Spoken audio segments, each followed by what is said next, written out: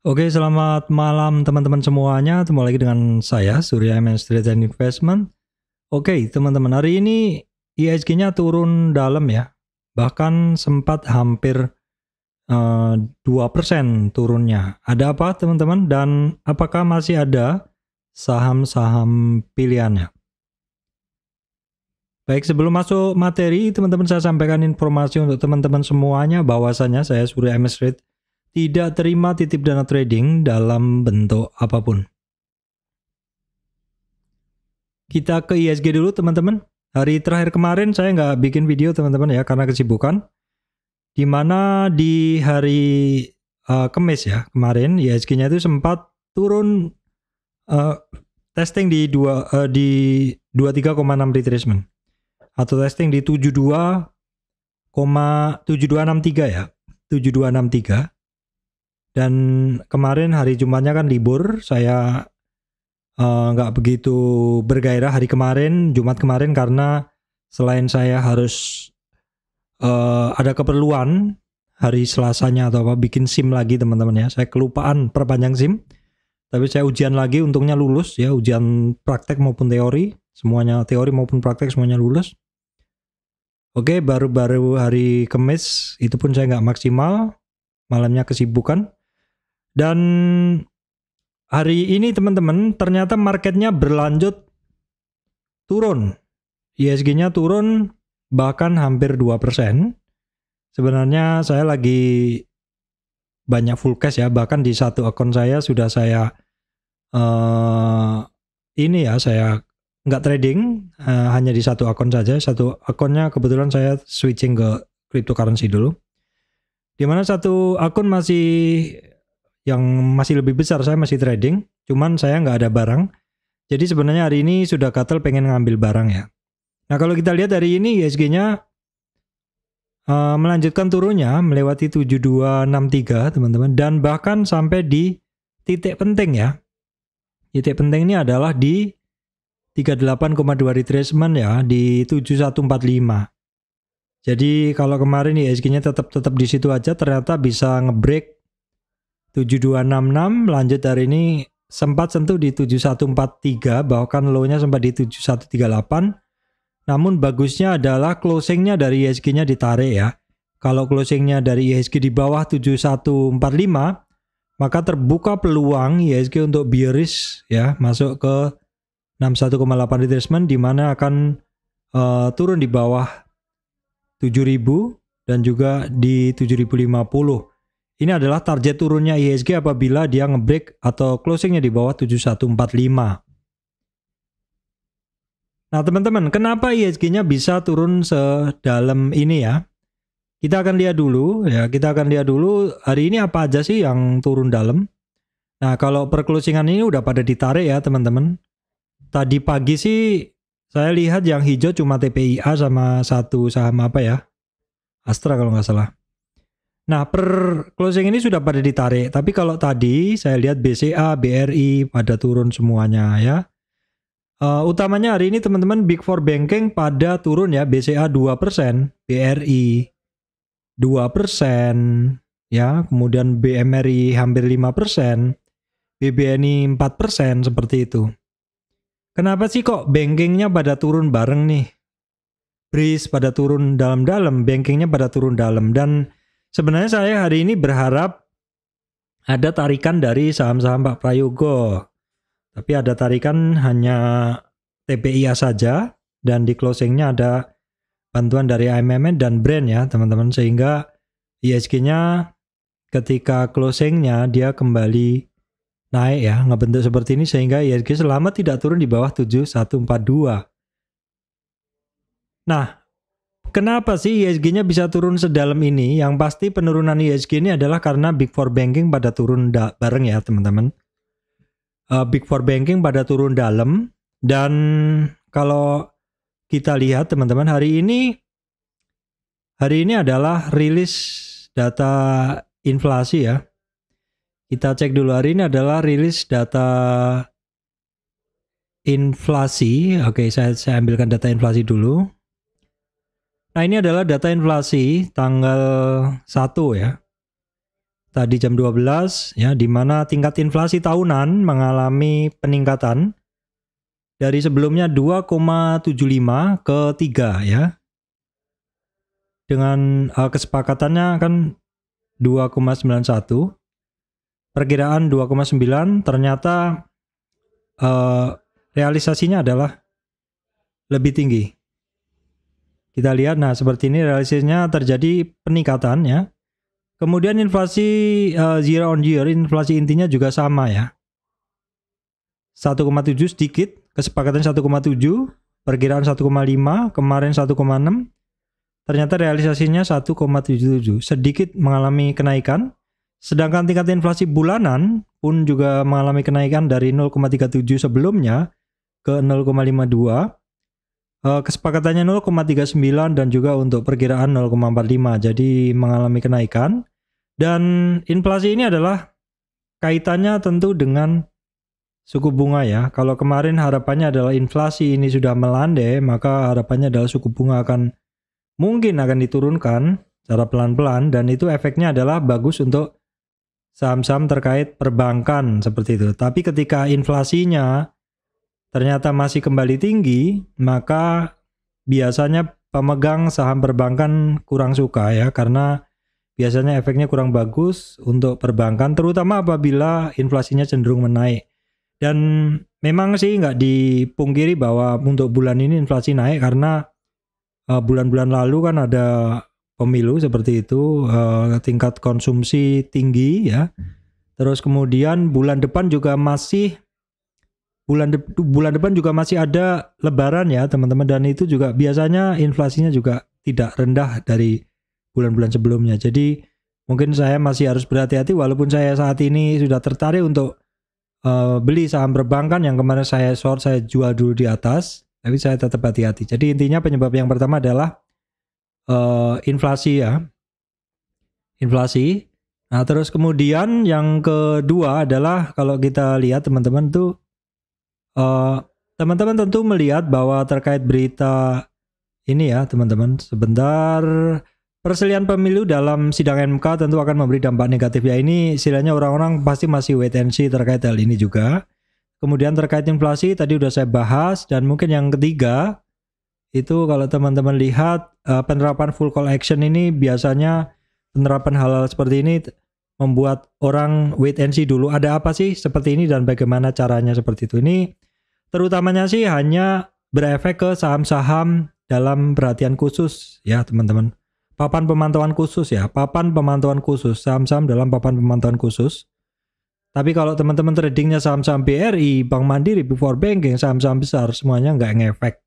Nah, ciri-ciri dari saham-saham dalam pemantauan khusus, ya teman-teman bisa ngelihat bila uh, bid overnya dia sudah nggak ada ya karena penentuan mekanisme harganya bukan seperti bid over seperti biasa ya. Kita akan cek dulu uh, cek gas. Nah ini masuk pemantauan khusus ya. Kemudian uh, nickel nah ini nggak ada bid overnya ya. Coba kalau tins kan masih ada bid overnya kira-kira seperti itu. Dan oke saya lanjutkan lagi. Terkait bagaimana mekanisme dalam full call action, teman-teman silahkan baca sendiri karena kebetulan saham yang saya pegang tidak ada yang masuk di eh, saham-saham uh, dalam papan pemantauan khusus yang masuk dalam full call action ya teman-teman. Oke, kemudian uh, berikutnya kita masuk dulu ke bahasan terkait ini ya, indeks regional ya, world market. Mungkin teman-teman juga mengaitkan bursa luar apakah sedang merah dalam, kok bursa kita merah dalam. Jadi bursa luar oke okay aja, Amerika mix ya, kemudian Asia mix, Eropa juga mix. Jadi bursa di luar oke-oke saja tidak ada masalah karena penyebab turunnya ISG minus 2% karena saham-saham mover index tadi memang mengalami penurunan before banking dan teman-temannya dan penyebabnya juga udah saya bahas tadi. Oke, terus kemudian kita akan masuk ke bahasan terkait ini komoditas teman-teman ya. Komoditas, nah crude oil kembali memanas harganya ya naik di 82 sekian, 83 teman-teman di 83. Terus kemudian crude oil Brent sama, kemudian untuk natural gasnya memang masih harga di situ aja. Batubara sudah mulai kelihatan ada rebound ya. Untuk emas teman-teman dia mencetak harga terbaru lagi di 2250 per troy ounce. CPO juga mengalami peningkatan, timah sudah cukup stabil masih dalam koreksinya. Nikelnya sudah seperti uh, menemukan dasar dan ancang-ancang untuk naik seperti itu ya teman-teman.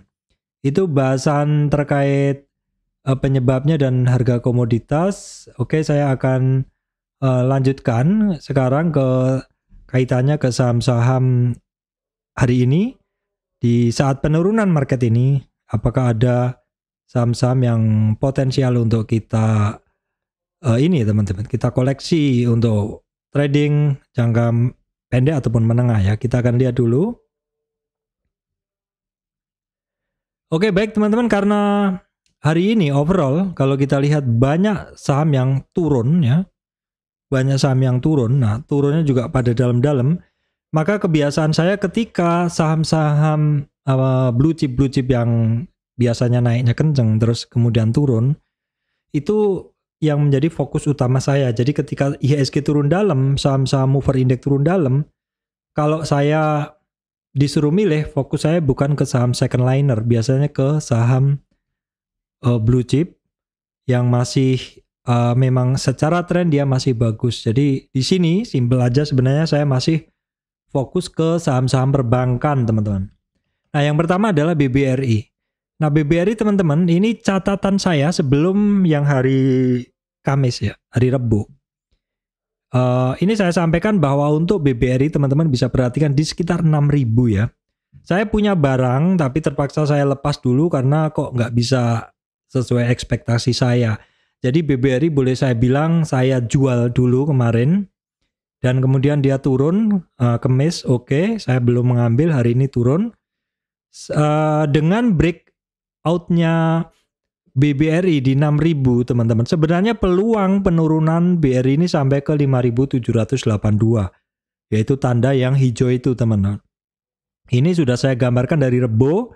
Jadi kalau BRI break dari 6000 teman-teman ini uh, nyampe nya di targetnya di 5700 dan ini adalah penurunan hari ini adalah penurunan BRI terdalam sejak fase ini ya sejak fase sejak uh, 2 uh, 29 Januari nah masalahnya adalah memang sudah menarik dan sudah hampir sampai target 5780 dan sudah mulai rejection namun sepertinya kita harus lebih berhati-hati lagi karena bulan depan mungkin inflasi masih naik dan kalau kita lihat hari ini jualannya di BRI ini kenceng teman-teman ya. Asingnya jualan kenceng di 331 sekian, ini Wijs ini termasuk kenceng. Kemudian hari ini dan kemarin turunnya BRI ini adalah dengan volume ya.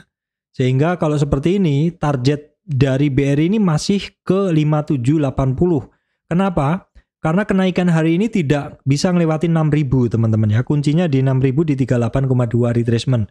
Untuk uh, eh, BBRI seperti itu yang bisa teman-teman uh, ini dan ini akan menjadi pemantauan saya besok kalau misalkan ada turun lagi uh, ya saham-saham bagus tuh biasanya kalau turun juga cepat reboundnya atau mungkin misalkan besok rebound uh, ya saya mungkin akan buyback saham yang sudah BBRI yang sudah saya uh, ini jual dulu ya teman-teman. Nah masalahnya adalah BRI hari ini uh, jualannya kenceng, asingnya keluar kenceng dan juga teman-teman dominasi bayarnya kecil. Yang mendominasi hari ini adalah 69% adalah seller ya. Nah yang jualan siapa? Asingnya ada RX, JU, BK teman-teman.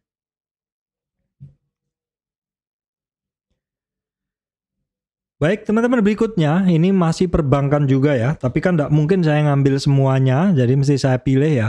Ini adalah BBNI ya. Ini BBNI juga sama ya. BBNI juga mengalami penurunan dan ini adalah coretan saya yang saya sebentar ini adalah coretan saya perhatikan ini ini coretan saya yang kemarin teman-teman bahwa uh, ketika BNI ini break dari 58 97, eh, maka peluang penurunan bisa sampai ke 68 5682 dan overshoot teman-teman sudah overshoot sudah bisa ngelewatin di oh, 78 ya. Namun di Fibonacci teman-teman, ketika penurunan sudah ngelewatin 50%, which is hari ini um, BNI ini bisa ngelewatin 50%-nya yaitu di sini, maka target penurunannya harus kita tambah ya. Kenapa? Karena dari separuh trennya ini, ini saja 50%-nya udah kesampe ya.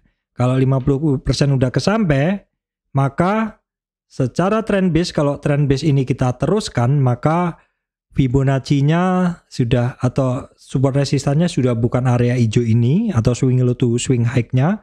Swing low to swing high-nya adalah sudah menggunakan yang lebih besar ini. Jadi target 50 retracement yang kecil udah kecapai, jadi kita harus ambil target 50 retracement yang terbesar ya. Di sini terlihat bahwa target penurunan BRI itu masih masih di kisaran 5480. 58480 itu sebenarnya juga hampir kecapai hari ini ya, 50 retracement di sini ya.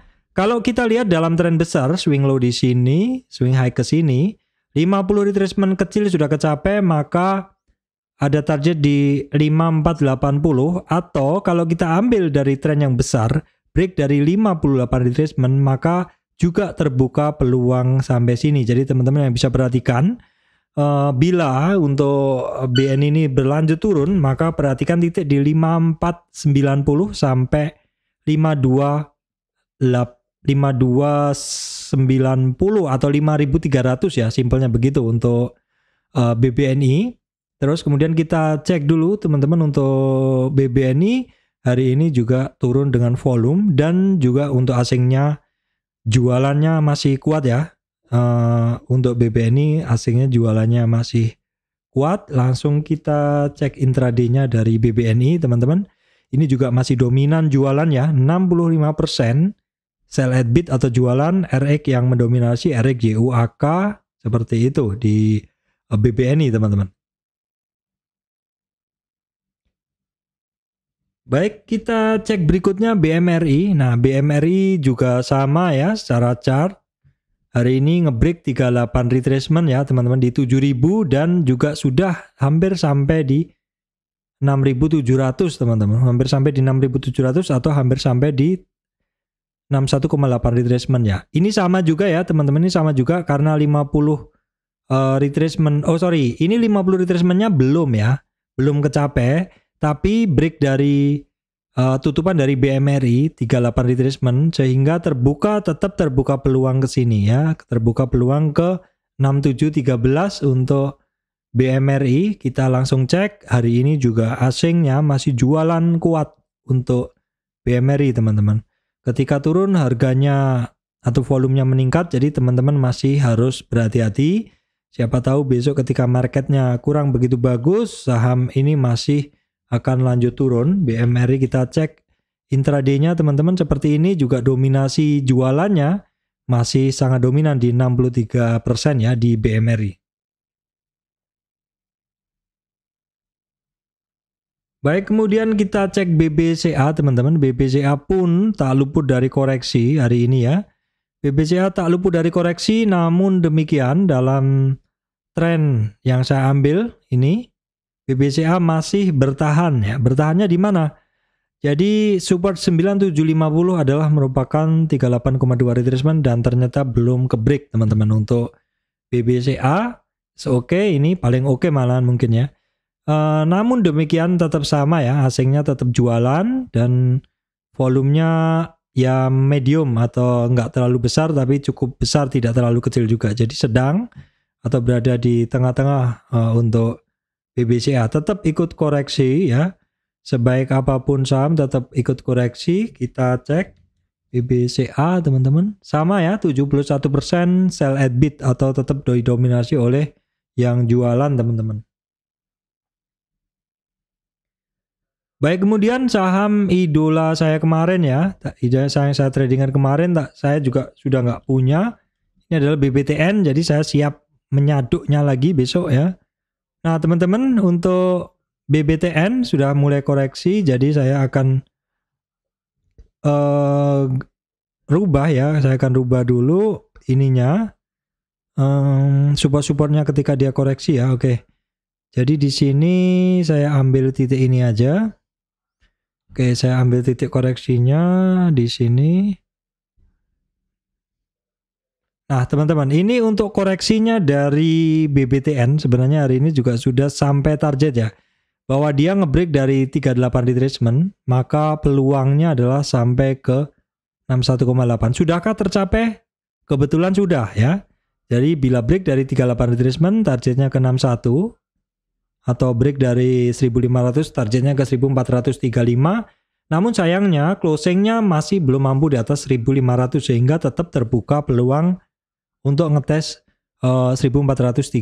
Apabila tidak mampu hanya bermain-main di antara 1435 sampai 1500-an, maka kemungkinan pergerakan dari BBTN akan seperti ini ya, akan konsolidasi di antara 61,8 sampai 38,2 retracement. Nah, kita akan cek uh, hari ini penurunan dengan volume dan juga untuk asingnya yang mana kemarin uh, banyak masuk ya. Ternyata untuk hari ini di BPTN ini asingnya keluar ya hari ini. Nah kita cek juga intraday-nya di saham BBTN teman-teman. Uh, sama juga ya 56% sell at bid atau dijual ya. Yang jualan asing ada YUAK ZP ya. Oke baik teman-teman. Berikutnya Breeze yang mana kemarin seperti ogah-ogahan koreksi mau naik lagi hari Rebo ya. Kemis koreksi sedikit. Hari ini juga sama ikut terkoreksi. Boleh dibilang dalam ya. Oke saya akan ambil uh, support koreksi Fibonacci-nya ya. Kita hapus-hapus dulu. Oke kita hapus-hapus dulu. Kita akan tarik trend base Fibonacci. Bila terjadi pemotongan maka tidak itu valid. Kita pakai untuk penarikan Fibo yaitu dari sini ke sini ya. Oke, terjadi pemotongan tren ya, jadi boleh pakai tren base Fibo dan saya akan tarik uh, Fibonacci untuk mencari supportnya teman-teman. Nah teman-teman ini juga sama ya, jadi koreksinya dalam untuk uh, breeze karena break dari 38 retracement ya, sehingga terbuka peluang tetap ke 61,8 retracement karena closingnya tidak mampu di atas 28, 2583 2583 sehingga terbuka peluang tetap ke sini. Jadi kalau misalkan besok marketnya turun kemungkinan ini juga masih akan menuju ke tes uh, supportnya 24 uh, 60 2466 dan 2350 untuk uh, breeze teman-teman. Hari ini adalah hari ketiga bursa ya dari Rebo, Kamis dan Senin uh, net sell dari Breeze untuk uh, da, ininya jumlah vo, untuk volumenya hari ini juga ketika harganya turun volumenya tinggi ya. Jadi mungkin masih akan uh, berlanjut turun untuk Breeze. Kita cek dulu Breeze. Breeze 5 eh sorry.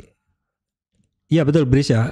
Breeze 56 ya saya kira BBTN Breeze 5 44 versus 56 teman-teman. 44 versus 56 masih didominasi uh, masih didominasi sell at bid atau jualan ya di Breeze.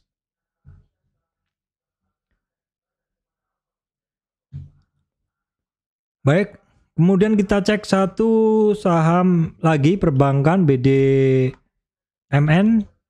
sama juga ya, dia juga mengalami koreksi juga. Memang secara umum saham-saham perbankan kompak koreksi. Nah, uh, untuk Bank Danamon teman-teman ini yang harus diperhatikan 2920 masih merupakan support 38,2 retracement. Bila besok break dari itu, maka target penurunan sampai 61,8 atau di 2840 ya untuk Bank Danamon. Di mana juga asingnya dalam lima hari bursa itu juga mengalami asing net sell ya. Net sell dengan volume uh, mengalami kenaikan ketika koreksi ini ya, teman-teman. Oke, kita cek dulu ya untuk BDMN. BDMN dominasinya juga masih uh, sell at bid atau jualan 69% masih didominasi yang jualan Baik teman-teman saya tambahin BNGA ya Bank Niaga sama juga mengalami koreksi padahal kemarin-kemarin ini ngetop ya. Oke, kita akan langsung ukur koreksinya dari potensi koreksinya dari potensi supportnya dari BDMN ya teman eh, BNGA. Nah supportnya bagus sih mantul ya di 2100 langsung mantul sepertinya sih akan lanjut nih teman-teman. Koreksinya dikit aja. Yang harus diperhatikan supportnya ada di 2100 kemudian 2020 ya. Kalau misalkan dia break dari uh, 2020 ya di 38,2 retracement ini maka peluang dia terkoreksi bisa sampai targetnya di 1900 teman-teman. Di 1900 oke saya gambarkan dulu. Kalau kalau misalkan bisa saya update begitu untuk BNGA lanjut di sini. Uh, sorry Bank Danamon Bank Danamon ya. Uh, volumenya juga turun asingnya juga masih jualan. Terus teman-teman Telkom berikutnya. Saham yang turun terus selalu saya pantau Telkom ya. Yang pertama yang saya sampaikan ini catatan lama saya terkait Telkom. Bahwasanya dalam weekly ada satu pola ya downtrend channel. Sehingga ketika Telkom itu terkoreksi uh, atau sampai resistan ini dia selalu turun ya sampai di support dari uh, downtrend price channelnya mantul lagi ketemu resistan downtrend price channel begitu begitu terus. Kemarin ya yang tanggal 19 Februari udah saya sampaikan resistan dari uh, downtrend price channel ya. Itu merupakan resistan yang beberapa kali nggak mampu. Bener aja dan uh, weekly ya berarti udah berapa minggu nih? 1, 2, 3, 4, 5, 6. Sudah satu setengah bulan. Dua bulan kurang seminggu ya. Dan weekly-nya ini ada perlawanan ya. Daily untuk Telkom. Nah teman-teman bisa perhatikan. Telkom mengalami penurunan dari 4000 3000 berapa ini? Break dari 38 3900 sekarang di tadi sempat di 3400 sudah menarik. Kemarin sudah ada uh, doji ya butuh konfirmasi dan konfirmasi hari ini adalah menarik untuk Telkom karena lebih tinggi dari kemarin. Sayangnya asingnya masih jualan terus di Telkom ya. Volume juga masih tinggi tapi ini bisa menjadi perhatian teman-teman karena awal-awal pergerakannya dari penurunannya kemarin sudah ditarik dengan doji dan hari ini dikonfirmasi naik sebenarnya walaupun asingnya adalah masih uh, net sell ya. Kayak kita lihat intraday dari Telkom ternyata sudah mulai dominan ya 52% sudah mulai hajar kanan ya buy at over di Telkom. Baik kita asid uh, kita update dulu ya. Maksud saya update untuk Indosat sama juga mengalami koreksi teman-teman. Oke saya akan ukur aja dulu. Kita lihat dulu weekly-nya. Mungkin weekly-nya lebih enak untuk dicoret-coret ya. Nah uh, bisa sih kita gunakan supportnya di 10.800 uh, memang ya ini dia kemarin kan ngebreak dari 10.877 sampai di 12.250 dan terkoreksi ngetes support lagi boleh seperti itu uh, kita gunakan sebagai supportnya untuk Indosat ya.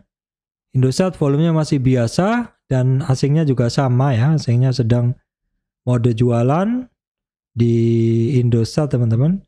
Kita cek dulu Indosat. Nah, seperti ini imbang aja antara bayarnya 49% versus seller 51%. Tidak terlalu signifikan ya, teman-teman. Baik, kemudian Excel teman-teman, langsung aja asingnya hari ini masuk ya. Uh, memang sama juga ya, dia ikut turun juga. Nah ini bisa teman-teman perhatikan juga. Excel, dia break dari 38 retracement ya, targetnya tetap ke 61,8 retracement. Tapi hari ini kepentok MA 200 ya, dari hari Rebo, Kamisnya mantul, naik lebih tinggi hari ini Senin ya, Seninnya sempat terkoreksi sampai di EMA 200-nya tapi mantul lagi ya. Kita lihat dulu untuk asingnya mulai masuk hari ini untuk di Excel. Kemudian kita lihat dulu intraday-nya Excel. Excel 53% buy at over ya. Oke, kemudian kita cek ada satu saham teman-teman nih ACS Aces ya. Oke, kita cek dulu Aces sama juga di hari Kamis terkoreksi, namun ternyata hari ini juga sudah mulai melawan lagi ada perlawanan ya. Mungkin kemarin penerapan FCA atau apa orang-orang ah lepas dulu saja lah gitu kan. Uh, ikut terpengaruh juga baru kemudian hari ini mungkin sudah mulai oh Aceh nggak kena gitu kan. Jadi mulai di buyback lagi ya untuk Aceh kita lihat intraday-nya dari Aceh 53% versus 47 sedikit dominan. Oke kita cek teman-teman era ya. Era ada kenaikan ya. Melewatin resistan candle. Untuk era kita ambil dulu. Nah seperti ini teman-teman. Uh, kenaikan hari ini sudah sampai di target kenaikannya di 50 retracement 448 namun saya belum mampu jadi resistan masih di 446 ya, 4 sekitar 446. Era sehingga masih biasa aja teman-teman. Oke teman-teman bisa perhatikan juga gajah tunggal ya, gajah tunggal oke okay, hari ini kenceng banget tapi sayangnya balik arah juga. Nah ini weekly-nya teman-teman, weekly-nya, monthly-nya bukan all time high ya bukan all time high tapi resistan baru yang sebelumnya sudah ada ya. Baik, ini ada gap ya, bisa kita perhatikan dulu gapnya apakah akan ketutup karena masih deket aja di sekitar 1300-an. Kenaikan hari ini memang kenceng, sempat ke 200 lebih, tapi closingnya hanya sampai naik 130-an ya. Dan untuk gajah tunggal hari ini asingnya besar ya, asingnya masih dominan di gajah tunggal ini teman-teman.